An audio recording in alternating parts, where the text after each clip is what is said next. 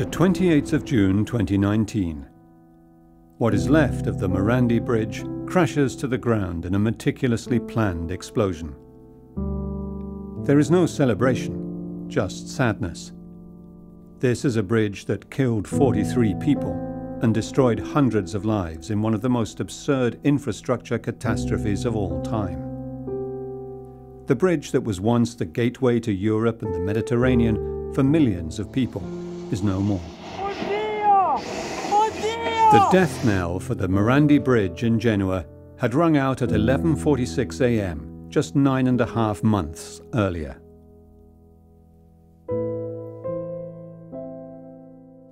Genoa, Italy. It is August the 14th, the day before Italy's biggest summer holiday. The towering concrete icon of the Morandi Bridge collapses into a jagged heap. Trucks and cars shoot into the void and plunge to the riverbed 50 meters below. People working under the bridge are crushed. 43 people lie dead in their vehicles or under the rubble. A un certo punto mi sono trovato a, a volare giù. Suddenly I found myself plummeting together with the whole bridge, with the front of my car pointing downwards. Io istintivamente I instinctively took my hands off the wheel and put them behind my head. li ho messe dietro la I thought I was dead. ho pensato di essere morto. A un certo punto sento un tuono fortissimo Suddenly, I hear a loud noise. I was looking at my tablet and I hear my colleague Luigi shout, What the f***'s going on? I look up and it was just like in the films. There were cracks in the road and we fall down. e mi ricordo che sprofondiamo giù. The collapse of the Morandi Bridge, Genoa's very own Brooklyn Bridge, is the worst road disaster ever to befall Italy. The mountain of twisted metal and crushed concrete left behind became a symbol of both human achievement and failure. What exactly went wrong that day and triggered the sequence of events that brought down the Morandi Bridge may never be known. But a fault in the original design and delayed repair work almost certainly contributed significantly to the disaster.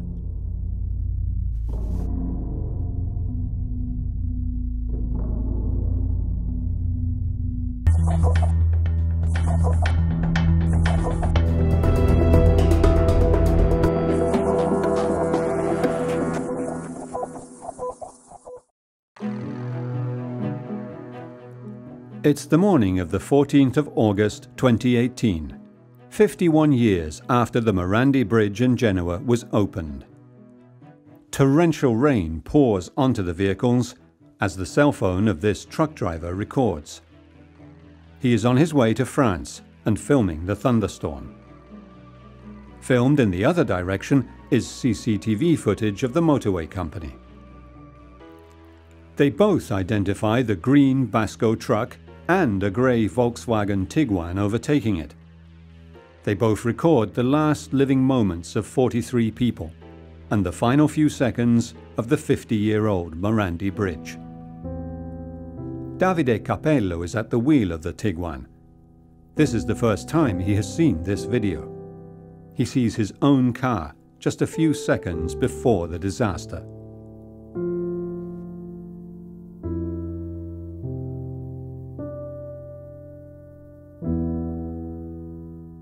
Mi sono messo nella corsia di sinistra eh, per- perché dovevo andare verso Genova Ovest e, ho superato una serie di, di macchine. I got into the left lane because I had to go towards Genoa West and I overtook a number of cars. Pilone numero 9. When I get to the point of the famous ninth pylon, I hear a dull rumble that surrounds me. I begin to see dust falling from above, small debris, and I look in front of me and see the road undulating, and a semicircular gap opens up 15 meters ahead of me. 10, 15 meters. Una, una voragine semicircolare davanti a circa 15 metri da me, 10 metri.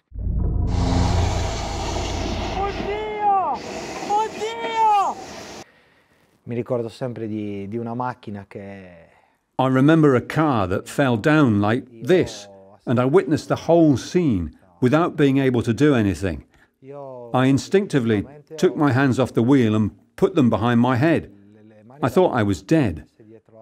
I knew immediately what was happening, because in any case, I saw the bridge collapse, the tarmac fall down, the cars disappear into the void. So I realized from the outset that it was the bridge that was collapsing. Le macchine sparire nel vuoto. Quindi sin dal primo istante mi sono reso conto che, che era il ponte che andava giù. Gianluca Ardini and his colleague were delivering furniture when they flew off the bridge in their white truck. Quando mi rendo conto di come sono messo, mi, mi giro verso When I realized where I am, I turn towards Luigi, whose head is on the steering wheel. I try to touch him with my left arm, but it doesn't seem like an arm at all, so I touch him with my right hand, and he shows no sign of life, so I realize he's dead. percepisco che, che fosse morto. Beneath the bridge, workers from the local waste recycling company witness the bridge fall onto colleagues. They cannot know what is happening or the extent of the disaster. As the bridge collapses, drivers slam on their brakes. Dozens of cars in front of them plunge into the void. The rain is still torrential. In the meantime, police and firemen begin rushing to the scene. The first to arrive face a grim scene of death and destruction.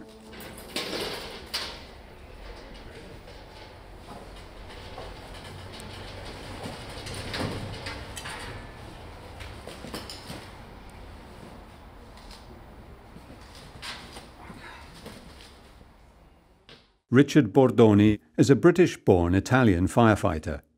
He was on duty in the Pavia fire station and is the leader of an urban search and rescue team. There was a thunderstorm, a severe weather. There was a thunderstorm, and we saw that a huge span of the bridge was missing. Even if uh, I didn't, we didn't figure out, you know, how severe the damage was, and we didn't even know how many vehicles or were involved in it. What I saw was those huge uh, concrete blocks. Huge, uh, there were massive uh, reinforced concrete blocks. Were part of the uh, part of the pier that had just collapsed with the stays. E vedevo solo buio e, e sentivo la polvere. Ho, ho provato a levarmi, a levarmi la cintura. All I could see was darkness, and I could smell the dust. I tried to take my seatbelt off to try to understand where I really was, where I had been stopped. So I took a look out of the car's rear window pane that had broken, and all I could see was debris, dust. There was no one there. Detriti, solo polvere, mm, non c'era, niente, non c'era nessuno. Quando realizzo dov'ero, che ho cercato di vedere da quel poco che rimaneva del finestrino, ho visto che mancavano ancora una decina di metri più o meno. When I realized where I am, I tried to look out of what was left of my window, and I realized that I was more or less 10 meters off the ground. I thought to myself, damn, I've survived and now I'm going to fall further. And the truck was moving. I panicked because I couldn't feel my legs and I thought I'd been paralyzed. But I could sort of feel them, so I thought maybe I've just broken my back. I began crying and I said to myself, hey Dan, calm down. You've got to calm down till they get you down. Stiamo calmi che ci facciamo tirare giù. It was wet. It was still wet. It just finished raining. There was a lot of dust because of a huge uh, dust cloud. Um, there were some people still uh, moaning or complaining, asking for help, and we had rescue workers, firefighters working on them and rescuing them, supporting the ambulance service too. And after it's just machinery, our machinery working on, on the top of the rubble. Are you declaring an emergency, sir? Watch all episodes of Ice Pilots.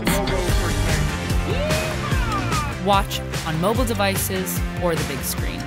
All for free. No subscription required. Download Veely now. Era un silenzio quasi... An unnatural silence. La prima volta The first time I looked out, I could only see rubble. Nothing was moving. It was as silent as a grave. un silenzio tombale. The urban search and rescue teams of Italy's fire brigade have swung into action in all of Italy's great natural disasters. These men and women have no time to be shocked. they have a protocol to follow. And on the Morandi Bridge on the 14th of August 2018, it was particularly challenging. Our capability and capacity is uh, breaching and breaking concrete. We are capable of doing that. We usually work on uh, standard structures or high-rise buildings or uh, stone-made buildings.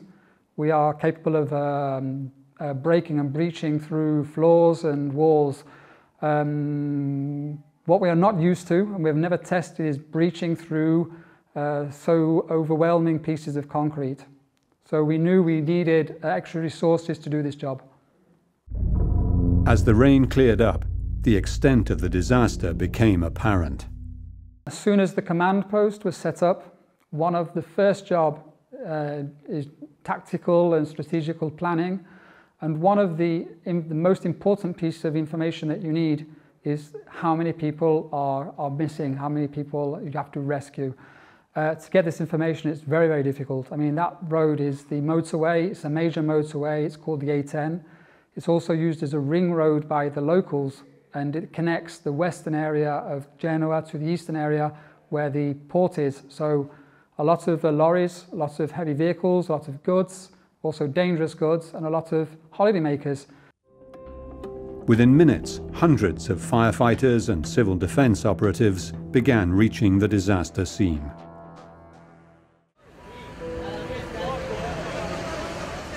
Isolated and confused, Davide Capello did not know that a whole span of the bridge had collapsed. Dopo ho chiamato, ho chiamato la, la mia fidanzata. I called my girlfriend, who at first didn't answer. So I called my dad. I spoke to him and told him where I was and what had happened. He was silent. He didn't quite realize. Perché a me non realizzava. We had to uh, find out where we could work safely and where there was less risk and where we could find cars and vehicles where we're looking for the entrapped persons. We didn't want to breach through rubble. Uh, the, what we were looking for was the missing. Beh, come emozioni, penso la, quella più grande era... The strongest emotions I felt were for my girlfriend who was pregnant, and Pietro was born a month later. I had to stay alive at all costs to be able to see my son. I think that was the strongest feeling I had at that time, but obviously you think of many things, such as your family, but that's the main thing. We were working uh, with the police uh, law enforcement, all the police forces uh, involved in the rescue operations, because we wanted to, we needed to know how many people were reported missing.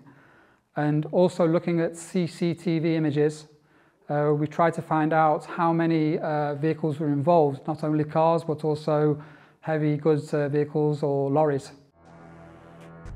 Dangling in separate cars at opposite ends of the collapsed bridge, Davide Capello and Gianluca Ardini both realized where they were, but were still at great risk and exposed to falling debris. Ardini had life-threatening injuries. Quando ho sentito i primi elicotteri, le prime sirene, mi sono proprio più calmato perché ho detto dai. When I heard the first helicopters, the first sirens, I calmed down. And in those moments, those hours, because I was there for four hours, they told me four hours. That seemed three days to me, the longest hours of my life. They had to stabilize the truck because it could have fallen further, and in the meantime, I'd changed position. I'd been able to take off my seatbelt because I had a broken pelvis and it hurt badly, and I lay down near the pedals because the truck was head down. So I managed to lay down there, and every now and again I had to move, but they shouted, Keep still, keep still.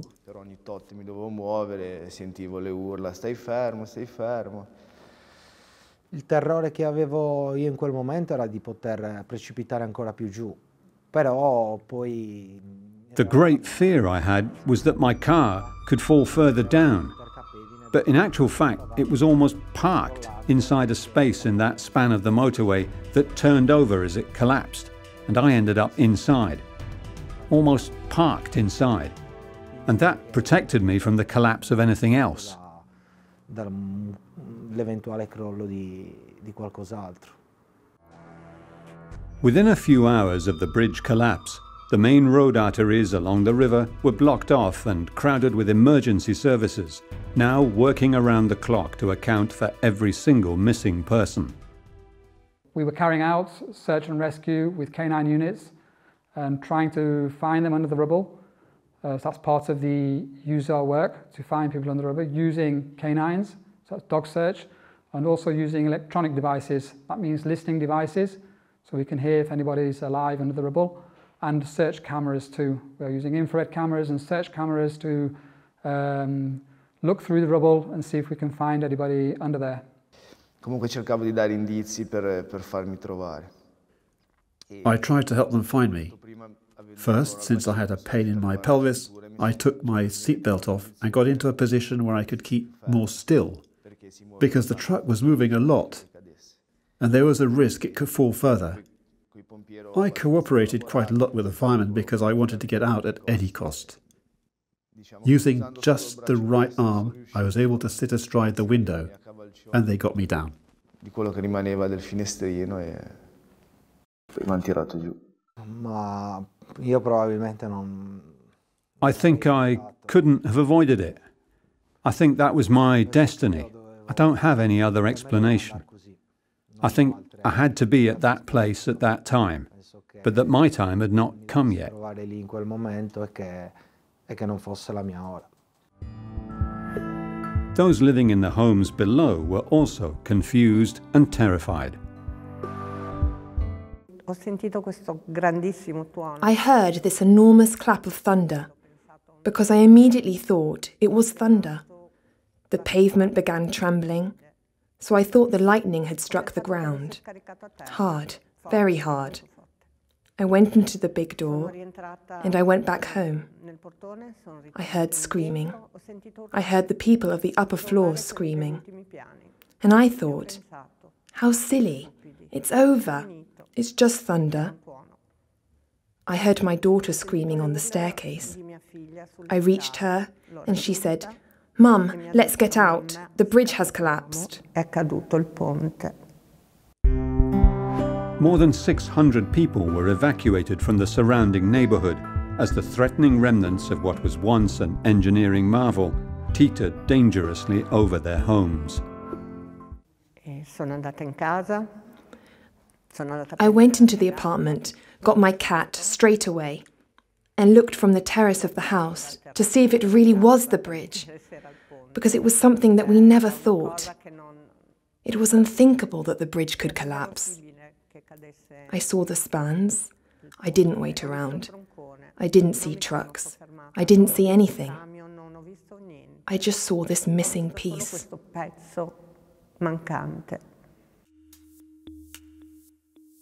What had happened to the brilliant bridge built by engineer Riccardo Morandi? The stay bridge he designed was solid, elegant, and inexpensive, and built without destroying the homes below. Michele Calvi is a professor of civil engineering and a well known expert on building safety. He has studied the catastrophe as an independent expert.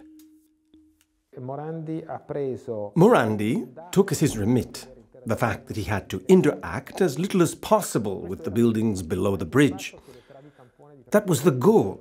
Even just the fact that the 36 meter supporting beams, the ones resting on the pylons, were built using prefabricated beams that were set in position using cranes. So, working only from above the platform is proof of the situation. Additional to this is that the platform was built using molds that were five or five and a half meters long, and working on top of the platform, what we would call today a segmented construction, which at the time was an unknown and non standard technique. The Morandi Bridge was a cable stay design. Unlike suspension bridges that hang from cables attached to anchors at each end of the bridge, stay cable structures use thick cables set astride a saddle on top of a concrete tower to actually hold up the road itself, creating a fan like support structure. Obviously, today, a stay bridge is a bridge with a large redundancy factor. Today, if one or two cables are cut, the bridge doesn't collapse. In fact, almost nothing happens. That bridge, on the other hand, if you remove one of the stays, obviously collapses. Everyone says that, not only after the events, but any sensible engineer, if asked, would the bridge stand if one stay were missing? Obviously, they'd say no. So that was a bridge with little redundancy. The city of Genoa occupies a narrow stretch of land between the sea and the mountains. The two ports here are vital hubs for international trade and travel. Before it was demolished, this was all that was left of one of the primary infrastructure links between the north and west of Europe and the whole of the Mediterranean basin. The Morandi Bridge was built in a strategic position within the city of Genoa, but it was also in an incredibly inaccessible place.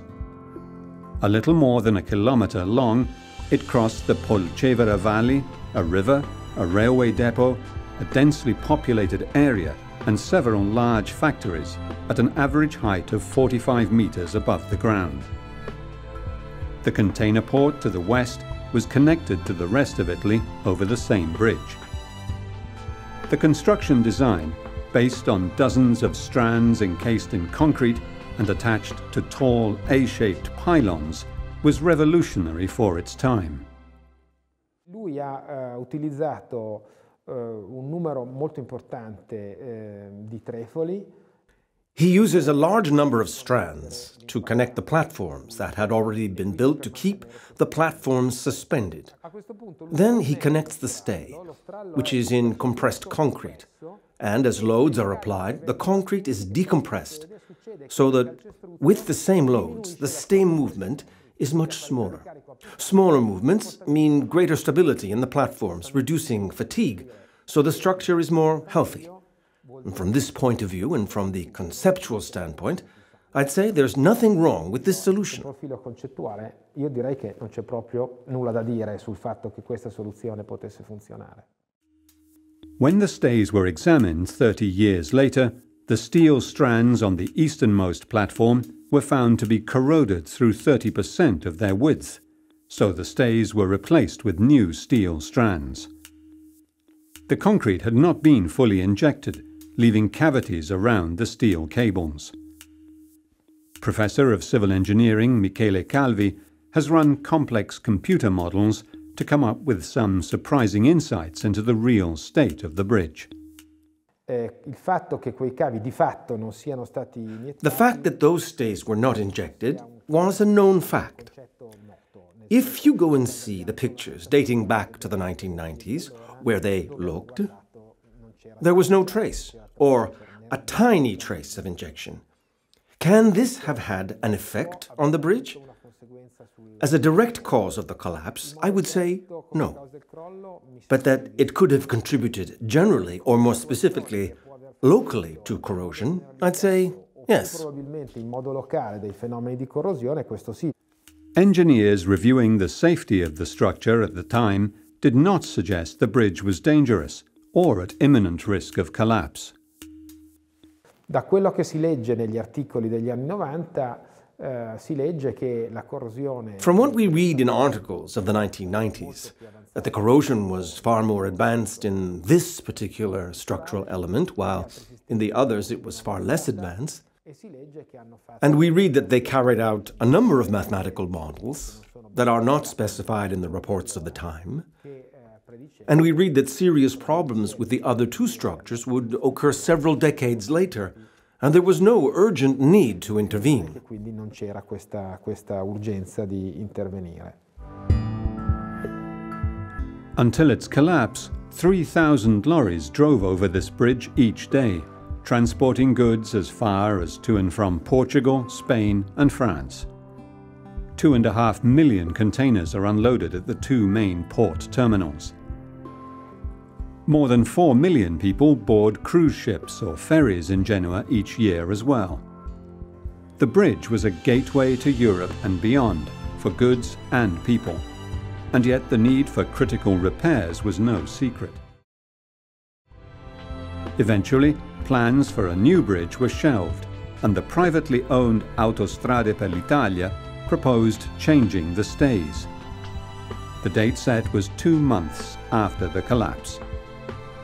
The weakness of the bridge lay on the lack of redundancy in the stays, but for the most part it was solid and stable.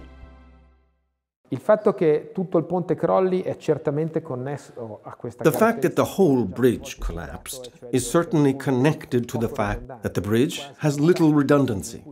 It's almost rigid. If one element disappears, the whole bridge ceases to work. This doesn't mean that any local item can cause the whole bridge to collapse. So we asked ourselves if a massive impact on a part of the platform might bring about an overall collapse. But from our models, we see that this would not have brought about the collapse of the whole bridge. So, according to engineer Michele Calvi, it could not have been the weight of traffic to have caused the disaster. The bridge was in fact hollow between the road surface and its base. Il, um, il tratto di strada che mi precedeva The road segment in front of me is built on two levels, and between these two levels is a space, and I ended up inside as the segment was turning over. I went right in there. probabilmente si è capovolto e io sono entrato proprio in mezzo.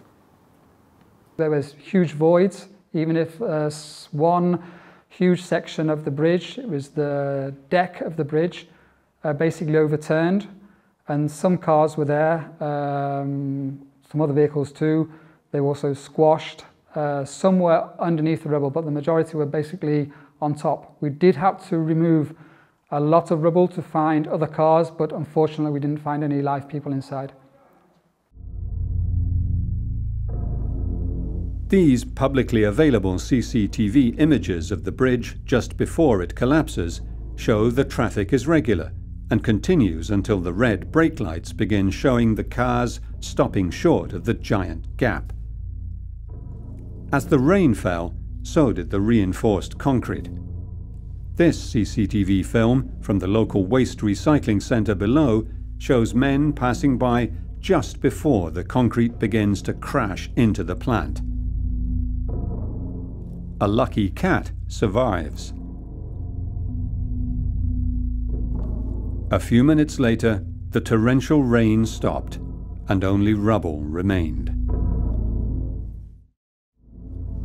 By noon on the 14th of August 2018, the Fire Brigade urban search and rescue teams were picking through the rubble of the collapsed Morandi Bridge, searching for survivors.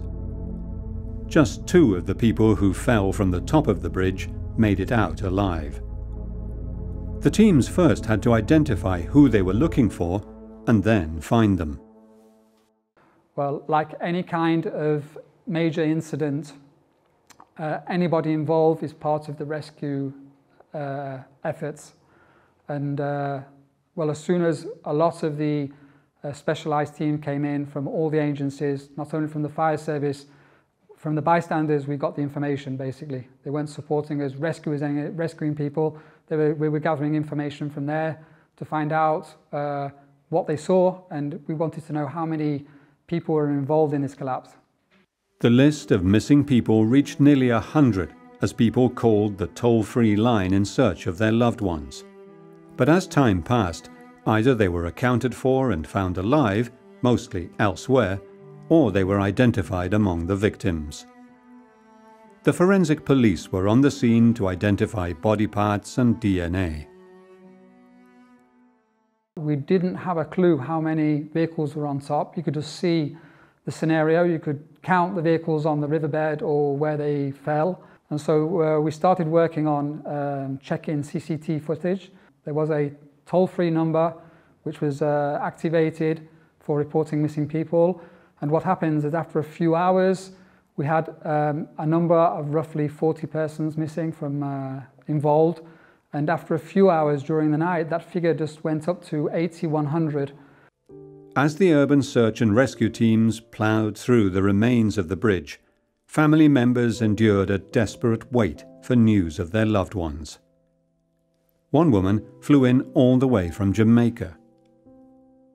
Well, the, the one that really touched me was getting, uh, was talking to the relatives of the Jamaican uh, uh, family. We didn't expect it. We had the Red Cross coming in, a psychological support unit. Um, they wanted to talk to the commander in charge of the rescue effort because she was begging the rescue service to do all they could to rescue their relatives. The first thing I asked is, I know, what, did, what have you been told? What do you know? And um, well, she had in the back of her mind uh, this thought of finding them still alive, even if she knew uh, they weren't. In the meantime, the investigation was underway. Although Michele Calvi was called by families of the victims to provide expert testimony in the investigation, he preferred to remain neutral and investigate for himself. We used a particularly advanced model that allowed us to simulate what happens to the bridge with parts moving long distances, so simulating the collapse up to its conclusion. This model allowed us to understand where the parts of the bridge ended up on the ground. So this model was fundamental. But I would never have trusted this model if we hadn't used the traditional methods and other approaches that I have just touched on, and had I not seen that the results were coherent amongst themselves. C'era coerenza fra questi, fra questi risultati. His conclusions are surprising and despite the various theories presented in the courts and in the media, he sustains that the Morandi Bridge was solid. Una pura, uh, puro incremento di corrosione an increase in corrosion alone would not have caused an overall collapse, without showing signs that it was about to happen. It could be the collapse of a stay, due to problems at the connection with the platform, or above, at the connection with the top of the pylon. After that, the other events are consequential. So the collapse of the platform through breakage and torsion is connected to this. Taglio torsione dell'impalcato è connesso a questo. The engineering of the bridge was such that even if the cables were corroded, the effect would simply to have been the extension of the stays, as the pre-tensioned concrete would have been decompressed. With corrosion of up to 60% of the cables, the bridge would have sunk by 40 centimetres, an event that would have been noticed by the workers on the bridge that day or by anyone passing by. Analysis of photographs of the rubble have led Michele Calvi to conclude that only a catastrophic collapse of one of the connections of the stays would have produced a pattern of debris like the one that was found. Using this kind of modeling, we find a distribution of debris on the ground that is very similar to the distribution of debris that we see in the photographs available. So as a result, I could conclude that for some reason, in my opinion, one of the stays gave way. And in particular, in my opinion, it was the southwestern stay. The collapsing bridge threw dozens of vehicles into the void, crashing into the ground below. Those involved fell off a bridge and fell between 40 and 50 meters. It was a huge drop. So the cars were, or they crashed to the riverbed or on top of other buildings, or were crushed by the huge blocks of concrete. So that was the major cause of death. Down in the valley, Richard Bordoni and the USAR teams reduced the number of missing people, dead and alive, down to three. They pored over CCTV images from the highway to determine how many cars might have been on the bridge when it fell. One car was missing, and they found it on the fifth day. Aboard were Christian Cecala, his wife Donna, and their nine-year-old daughter, Crystal. The last car was uh, a Hyundai i20 LPG car. The first part of this car was found in the air, basically stamped onto the concrete. It was the back panel, seat panel. And so we sent some colleagues underneath uh, from the bottom. So we opened up a hole at the bottom of the rubble and we basically found an engine The experience that each USAR member has gained while working in confined spaces proved key in identifying the vehicle. And using his uh, camera, he took a picture and managed to take note of the uh, uh, registration of the, of the frame. And with this number, we had the confirmation that it was a Hyundai, a Hyundai i20 LPG, and uh, that's what we were looking for. The family of three was the last to be found. They had been on their way to their holidays. We knew we were looking for a family, um, a family of three, that's two adults and uh, their daughter, a nine-year-old daughter. And that was the last one, and we were working, all our efforts were concentrated on that one because we knew that on that card there were three persons on board. Other victims of the tragedy included cameraman and journalist Gianni Battiloro, who was travelling with friends Matteo Bertonati, Gerardo Esposito, and Antonio Stanzione. Andrea Vittone, Claudia Possetti, and their two children from Pinerolo, Piedmont, were also killed. The Robbiano family was wiped out. Father Roberto and his wife Ersilia died together with their eight year old child. Another 30 also died on that day.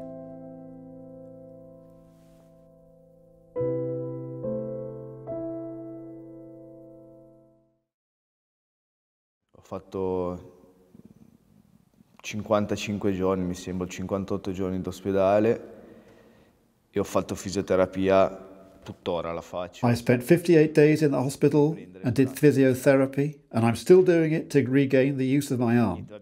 As for injuries, I injured my retina, my arm, my pectoral muscles, with deep cuts made by the seatbelt. I broke my arm, my elbow, my ribs, pelvis in two places, a vertebra.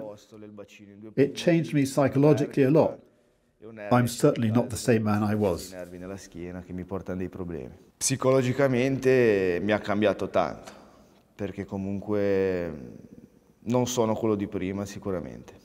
Ma io mm, non ho riportato grosse lesioni nel, nel... I didn't suffer serious injuries.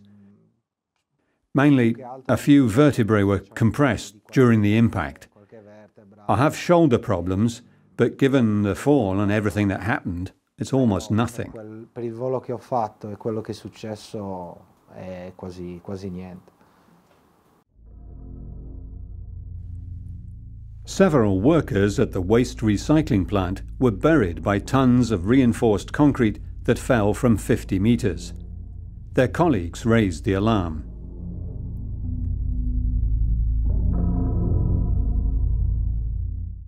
We had one colleague of one of the um, missing, which had started his first day of work at the waste factory. And he reported that he was sure that his colleague was there under the rubble somewhere because he started his job in the morning and then he, they couldn't get in touch with him. So they were telling us to find him and was most probably involved in the, in the, under the collapse uh, near the parking area of the um, waste collection company. Possiamo chiamarlo in tutti i modi perché... We can call it anything we like. Luck? I'd say the word miracle is inappropriate because it's unfair towards those who didn't share my fate. But it's unexplainable. We started on Tuesday the 14th and it was Saturday morning when uh, we found the last uh, deceased person and we were sure, 100% sure that nobody else was involved in the, in the collapse. The city of Genoa, home to more than half a million people, was also left struggling by the collapse of its iconic Morandi Bridge.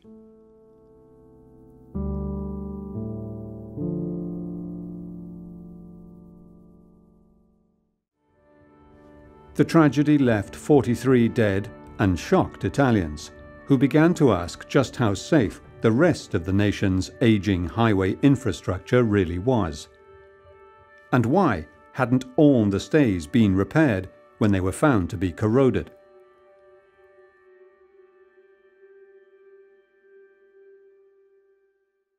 Non voglio fare il, eh, il procuratore della Repubblica che dice che la gente doveva pensarci. I don't want to usurp the role of the prosecutor who says that someone should have known. But I can say that massive work was done in the 1990s on one of the pylons, and nothing else was done afterwards. And that is very strange, because the three systems are very similar, if not identical. And the fact that corrosion was already identified as a problem even if I say it wasn't the main and fundamental cause of the collapse. This does not excuse the fact that the structures were monitored ineffectively.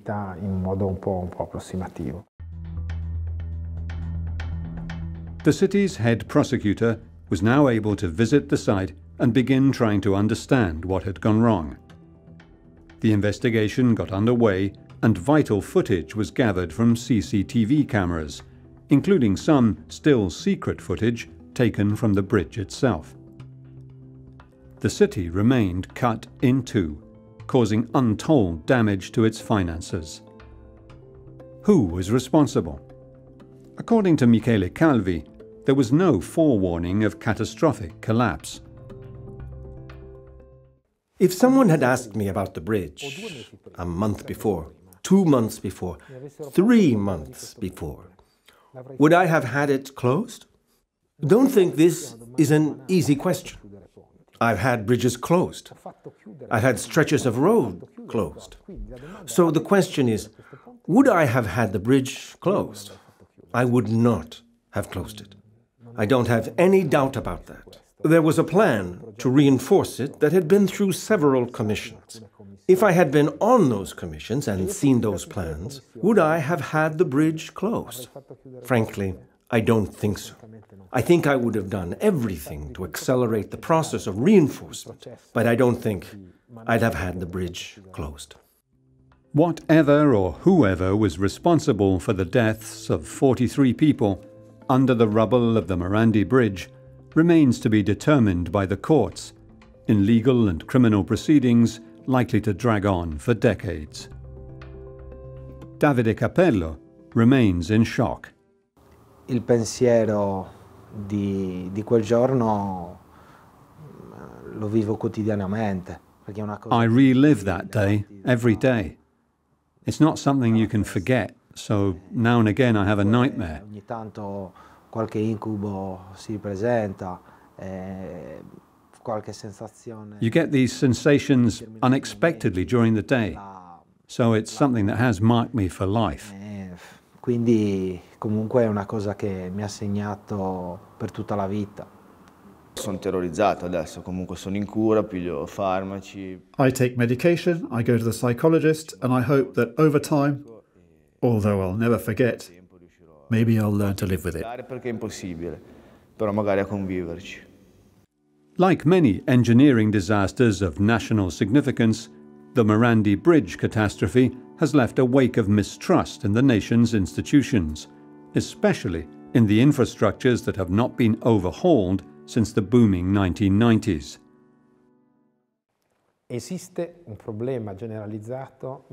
There is a general infrastructure issue in Italy, in France, in Germany, and everywhere.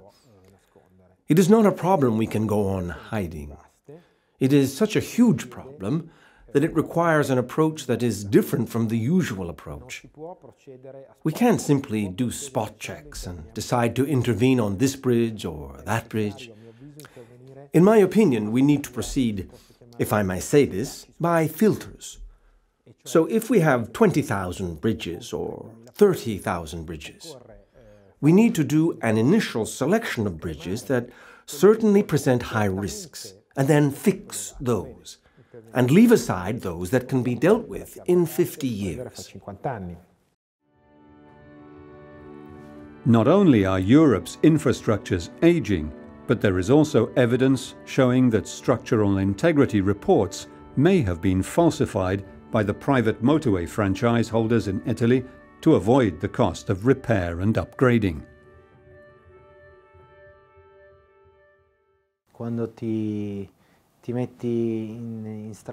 When you get on the road, you can't be afraid that the road will collapse under your car. You have to be afraid of getting distracted, of having an accident, not that the tarmac under your wheels disappears. This is impossible. It just can't happen. The city of Genoa has blown up the remains of the Morandi Bridge once and for all. Hundreds of people have been moved into temporary accommodation, and the whole city is paying the price of losing its strategic place among Europe's commercial hubs. More than a year went by before work on erecting the pylons for a new bridge finally began. They should have reopened the bridge three months after the collapse. Three months after the collapse. Because opening the bridge, in my opinion, was more important than anything else. So don't tell me it has to be beautiful and so forth. That bridge had a structure that was still standing for the most part and maintaining the basic safety standards. They could have immediately begun planning.